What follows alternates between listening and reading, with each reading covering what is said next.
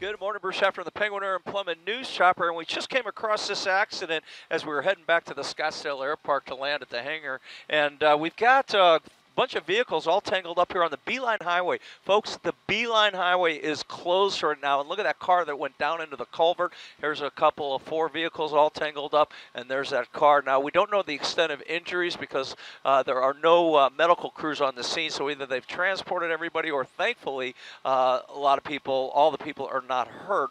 So that's what it looks like. We want to uh, come now and give you a shot of the closure here, and this would be the Beeline Highway coming out of the Phoenix area here at Gilbert Road.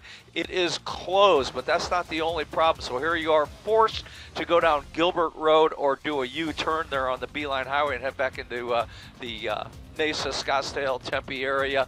Here, look at this right here. You're being turned around. All those folks coming up from the Mesa area on Gilbert, you're being turned around and sent back on down into uh, you'd be sent back down into Mesa. So that's what it looks like from the Penguin Air Plumbing News Shop. We'll send it back downstairs to you guys.